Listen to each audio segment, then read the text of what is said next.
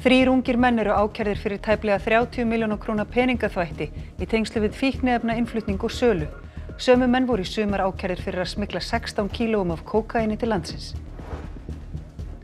Félagsmálaráþurra segir það glabræði að loka meðferðarheimilinu í Krísuvík. Hann vill tryggja rekstur þess til langframa en fyrst þurfi að ráðast í úrbætur. Samningur um starfsemina rennur út um áramót. Meirinn miljón manna tók þátt í mótmælum í höfuborg Síle í gerkvöld sem eru með þeim fjölmennustu í sögu landsins. Útgöngubanni sem hefur verið í gildi í viku var aflétt í dag. Pólland hefur hrapað niður lista yfir fjölmiðlafrelsi í ríkjum heims frá því stjórnarflokkurinn lög og réttur komst til valda. Ritstjóri segir frelsi fjölmiðla ógnað og að bladamenn búi við ítrekkaðar málsóknir. Átök í stjórnmálum, annir og einhverfa leitu til kulnunar hjá fyrverandi stjórnarformanni Bjartrar framtíðar. Með því að hekla teppi tókst henni að fá bata.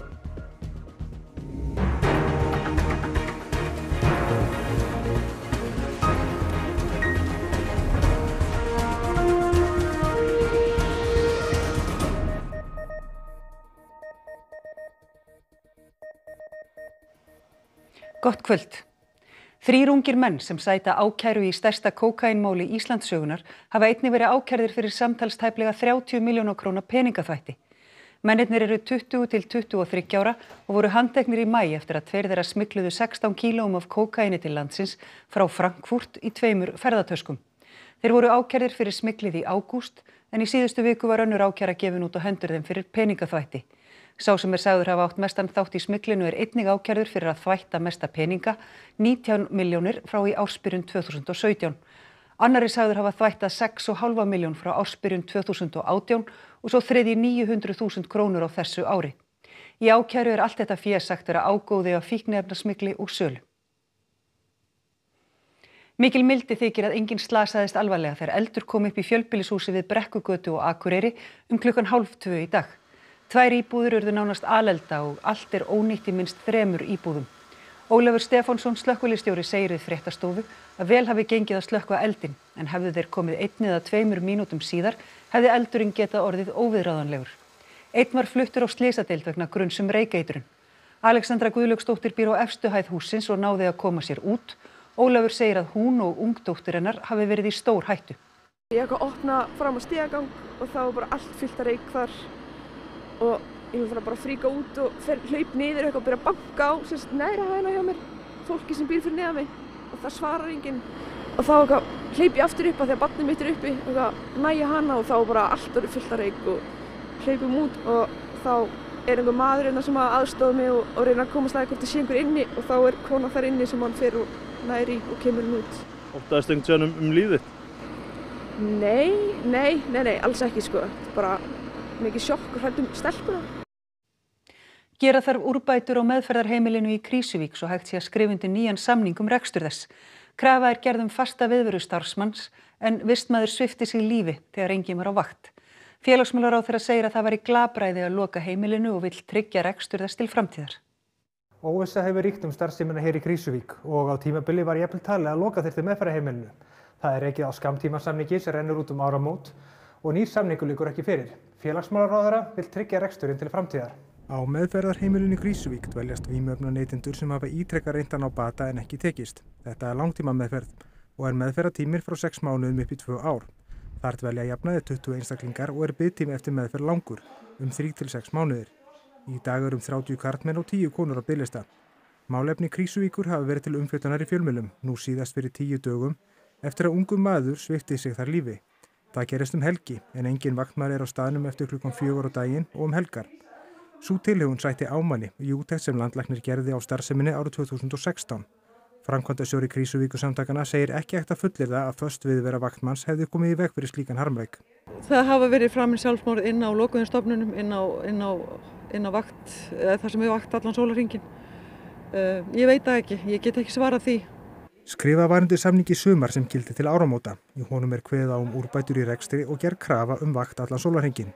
Verið er að útbúa aðstöðu fyrir vaktmann í Krísuvík og er stemt á að hann hefji störf á allarnæstu dögum.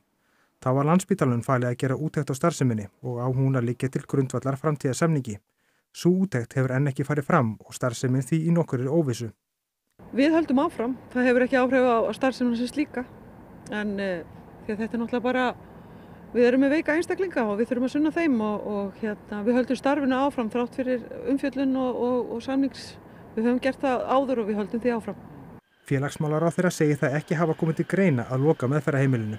vegna þess að uh, ég vildi ekki gefast upp á þeim einstaklingum sem að þarna eru. Uh, þarna eru einstaklingar sem að uh, eiga ekki neina önnur skjólavenda og eru einstaklingar sem að lenda á mjög gráu svæði í okkar félags- og velferðarkerfi. Ráð þeirra er von góður um að ráðist verði þær úrbætur sem þarf til og að reksturinn verði treyfluð til langframa. Það er náttúrulega það sem að Krísuvík er að fara yfir núna og gera breytingar með. Þess vegna gerðum við sex mánada samning við Krísuvík með það að markmiða auðvitað að geta síðan gert langtíma samning vegna þess að það eru atriði þar sem þarna slagfæringar en það hefði verið algjört glabræði að mínu viti að loka þessu og láta alla þá einstakleika sem þar eru fara út á göttuna. Íbúar á fljótsdalshéraði, Seyðisfyrði, Djúbavogi og Borgarfyrði Eistra kjósa í dag um saminningu sveitafélagana. Á kjörstaði í mentaskólanum og eigilstöðum er Rúnar Snær Reynisson fréttamaður. Rúnar, þú eru fylst með í dag. Já, og kostningu er lokið á Djúbhói og Borgarfyrði en það er ennþá hægt að kjósa eh, á eigilstöðum og Seyðisfyrði til klukkan 22 í kvöld og þá fyrst verða atkvæði talinn. Nú, uh, kjörsókn á borgarfyrði var 72% og klukkan átján var hún 78% á djúbói, 64% á seðisfyrði en aðeins 43% á fljótstalsérði klukkan 6 og þá voru fjóra klukkustundir í lokun. Nú ef saminningi verður samþygt þá verður til nýtt 4900 manna sveitarfélag sem verður jafnframt viðfæmasta sveitarfélag landsins og uh, hjá mér er Björn Ingimarsson, bæjarstjóra á fljóstalsjörði en, en hann er jafnframt uh, formaður saminningarnemdar eða samstarfsnemdar um saminninguna. Eh, segð okkur Björn, kjörsókn hinga til verðist ábyrjandi verst á fljóstalsjörði, stærsta sveitarfélaginu, hvað getur valdið því? Ég veg nú aðtekla því að þarna voru fjóri tímar í lok kjörstaðar og hef ég alveg fulla trú á því að kjósendur muni nýta sér þann tíma eh, sem eftir er til að mæta. En e, það er eh, svo sem við e, höfðum e, svona á tilfinningunni að það erði minni kjörsókn hér heldur en á, á hinnum stöðunum Þannig að þetta er ákveðin vísbending að svo verði. En ég er nokkuð samfallur um það að kjósendur hér á klústasérði munu nýta þann tíma sem eftir er og mæta á kjörsta því að það er mikilvægt að á bakvið það ákvörðun og þá niðurstöðu sem nú verður, eh, eða mun núna koma fram, þar liggi afgerandi eh, meiri hluti kjósenda. En hvað gerist ef íbúar í einu sveitarfélagi hafna saminningunni? Geta hinn þá saminast? Já, verði það svo að íbúar í, ég segjum, í, í einu af þessum fjórum sveitafélögum, eh, hafni eh, samanníkunni, þá hafa í rauninni sveitastjórnir hinnar þryggja heimil til þess að ganga til samanníka. En e, þetta snýr, e, snýr líka sko íbúa fjöldanum, þannig að segjum að ef að, að til dæmis fljósta sér að myndi hafna, þá eru meirinn tveir þriðju íbúana sem hafa hafnað og þannig verður ekki samningu. Einmitt. Og, og ef að þetta verður samþýtt, eh, hvað tekur þá við? Þá þarf að kjósa nýja sveitarstjórn? Já, sko verður þetta samþýtt, þá eru er þið skipuð undirbúinistjórn sem uh, fer í það að vinna að uh, samþyktum fyrir saminnarsveitafélag og undirbúning uh, sem sagt bara stofnum þess sem er þá ákvörðun á því hvena verður kosið til nýrarsveitastjórnar og í þessari vinnu hafa með verið að horfa til þess að það yrði næsta vor og, og þannig að verkefni undirbúrstjórnarnar verður að, að vinna að því. Takk fyrir þetta Björn, en þetta var alltaf til að koma í ljós en það er sem sagt ennþá hægt að kjósa á eigilstöðum og e, seðisfyrði til klukkan 22 í kvöld. Við fylgjumst með og segjum ykkur frá úslitónum, segjum ykkur frá úslitónum á vefnurú.is og í miðnætturfrettum í útvarpinu. En þaukum fyrir. Takk fyrir þetta Rúnur, við fylgjumst að sjálfsögðu með niðurstöðum þessara kostninga. En þá víkur sögun út í heim því yfir miljón manns kröðust afsagnar fórsetta síle í höfuborginni Santiago í gær. Fórsetin aflétti útgöngubanni í dag og bóðar uppstokkun í ríkistjórnunni til að mæta kröfu mótmælenda. Kveikjan að mótmælunum í síðustu viku var örlítil hækkun miðavers í alminnisamgöngur og til að byrja með tókun ánast aðeins stúdendar og ungt fólk þátt. Nú beinast mótmælin að stjórnvöldum, engaveðingu heilbriðiskerfisins og auknum ójöfniði og nú taka allir þátt. Fólk á öllum aldri úr öllum stjettum ber potta og pönnur og krefst breytinga. Mótmælinni gerðkvöld voru einn þau fjölmennustu í sögu landsins og götur Santiago borgar fullar af fólki. Mótmælinn voruð mestu friðsum en þegar líðafór á kvöldið kom til átakamilli hópa mótmælenda og lauruglu. Mótmælin hafa staðið í rúma viku, minnst 19 hafa látið lífið og mörg hundruð slasast. Mótmælendur krefjast afsagnar fórsetans Sebastians Piñera en hann kallaði mótmælin kröftu og gladlega á samfélagsmiðlum í gær. Í dag áarpaðan þjóðina og bóðaði breytingar. Quiero anunciar a todos mis compatriotas que si las circunstancias lo permiten, es mi intención levantar todos los estados de emergencia a partir de las 24 horas del próximo domingo. He pedido a todos los ministros poner sus cargos a disposición para poder estructurar un nuevo gabinete para poder enfrentar estas nuevas demandas y hacernos cargo de los nuevos tiempos. Mörg hundruð manns komu saman í Barcelona á Spáni í dag og kröfðust þess að leðtogar aðskilnaðar sinna erðu látnir lausir.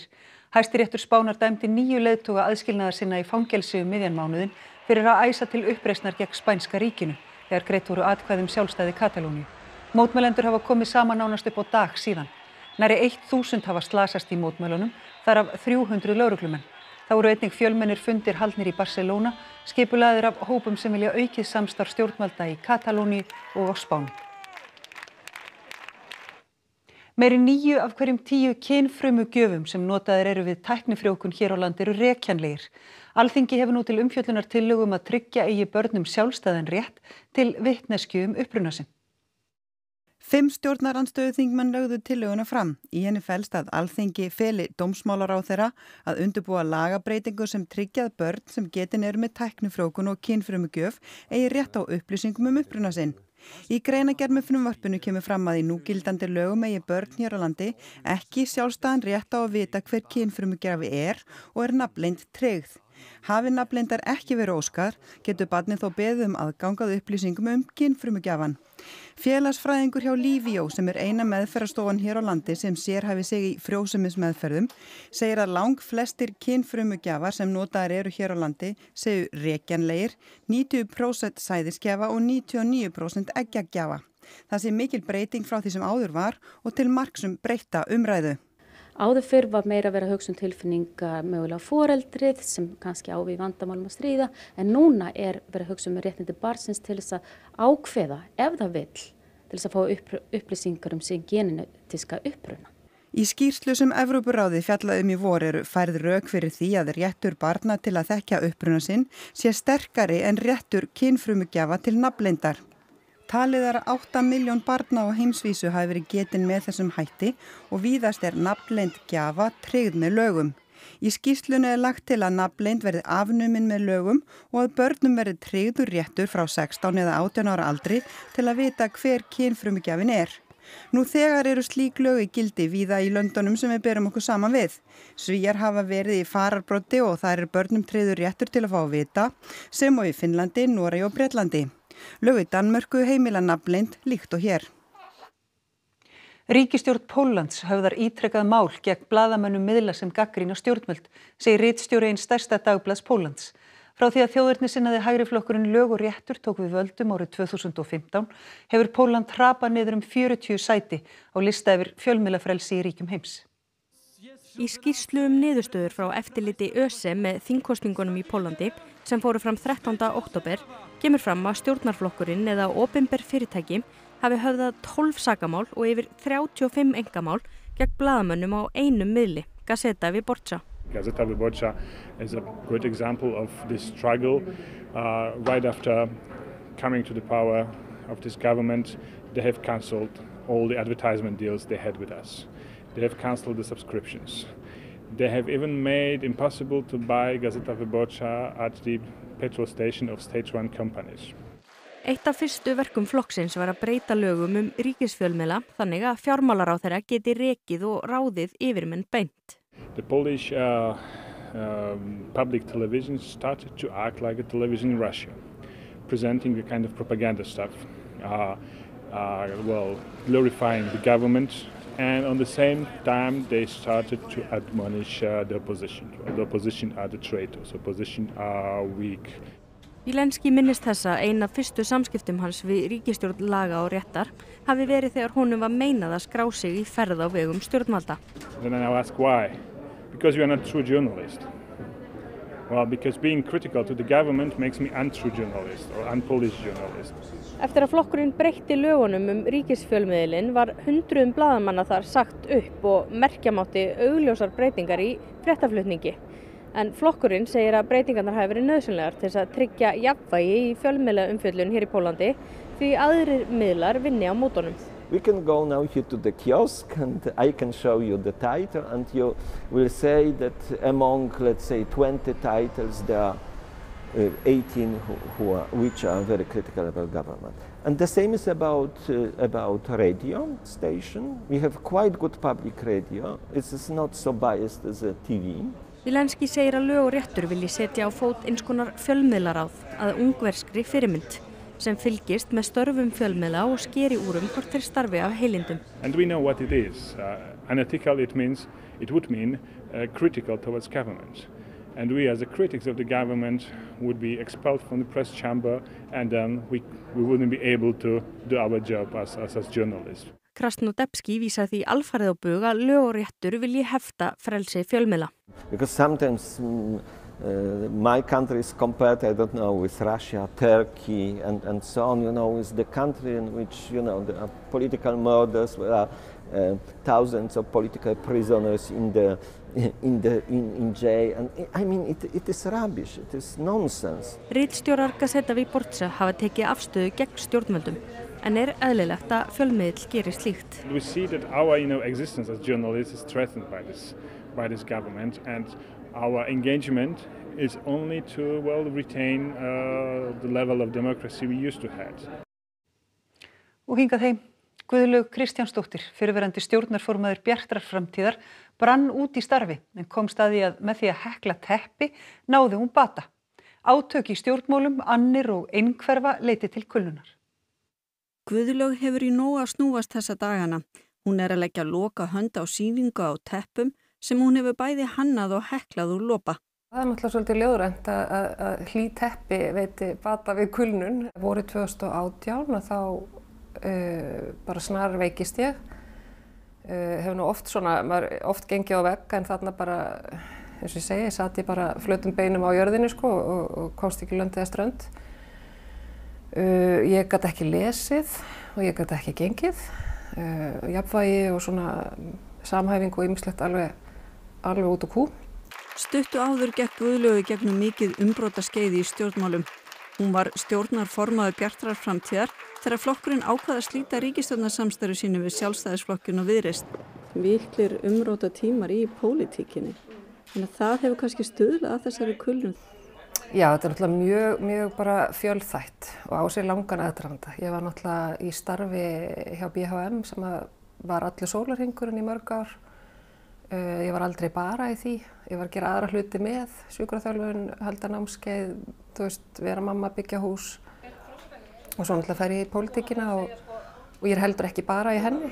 Þannig að það er bara rosalega margi samverkandi þettir. En að sjálfsögðu þá, þá spila þetta. Ég menn það er þetta er ekki eitthvað svona sem Jón og Gunnar lenda í upp á hvern dag þetta hafar í sem að vara þarna á þessum tíma. Svo náttúrulega bara svona hlutir á baku tjöldin sem ekki sjást sko, sem að taka líka rosalega á sko.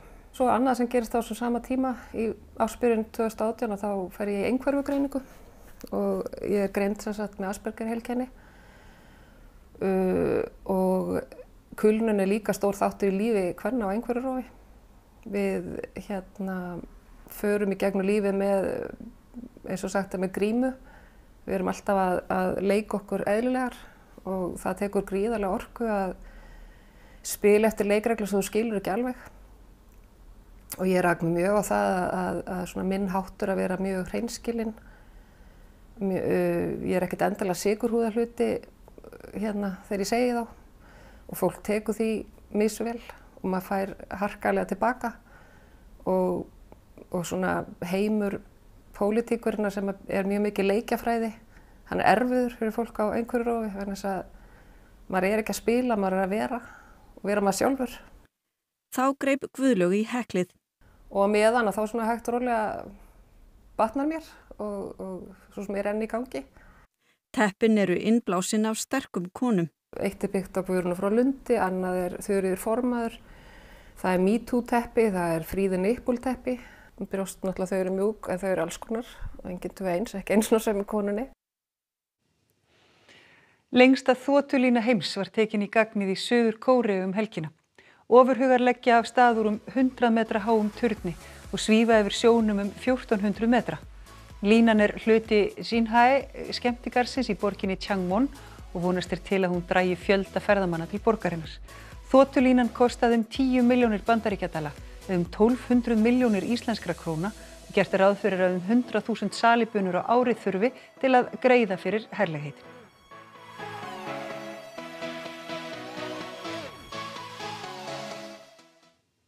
Og þá að veðri. Fyrsti vetrardagur tók vel á mót okkur í dag en það var fallegt veður um mest all land. Á morgun verður áframhald á blíðveðrinu víða bjart og hægur vindur en það nær þó að þykna heldur upp við vesturströndina. Nætur frost engum inn til landsins en hiti víða að fimm stigum að deginum. Hrapp Guðmundsson veðurfræðingur segir nánar frá veðrið að loknum íþróttum og það er Kristjana Arnarsdóttir sem segir íþróttafréttir í kvöld. Heilumferð var spiluð í ólísdeild kvenna í handbólta í dag. Íslandsmeistrar valsmættu stjörnunni í toppslag. Manchester City mingaði fórskot Liverpool á toppi ennsku úrvalsdeildarinnar í fótbolta. Southampton jafnaði vafasamt met í gerkvöld. Keflavík heldur áfram að vinna í Dominosteild Karla í körfubólta, golf, heimsbyggarinn í alpagreinum og fleira til í íþróttum hér rétt á eftir. Og þá skulum við fara yfir helstu atriði þessa fréttatíma. Þrýr ungir menn eru ákærðir fyrir tæplega 30 miljóna króna peningaþvætti í tengslum við fíknefna innflutning og sölu. Sömu menn voru í sumar ákærðir fyrir að smigla 16 kílóm af kókaini til landsins. Félagsmálar á þeirra segir það glapræði að loka meðferðarheimilinu í Krísuvík. Hann vill tryggja rekstur þess til langframa en fyrst þurfa að ráðast í úrbætur. Semningur um starfsemina rennur út um áramót. Meirinn miljón manna tók þátt í mótmælum í höfuborg Síle í gerkvöld sem eru með þeim fjölmennustu í sögu landsins. Útgöngubanni sem hefur verið í gildi í viku var aflétt í dag. Póland hefur hrapað niður lista yfir fjölmiðlafrelsi í ríkjum heims frá því stjórnarflokkurinn lög og réttur komst til valda. Rittstjóri segir frelsi fjölmiðla ógnað og að bladamenn búi við ítrekkaðar málsóknir. Þessum fréttatíma er lokið. Næstu fréttir verða sagðir í útvarpi klukkan tíu í kvöld og vefurinn rúf.is er uppfærður allan sólarhingin. Við minnum líka að hægt er að horfa þennan fréttatíma í rúf appinu. Verið sæl.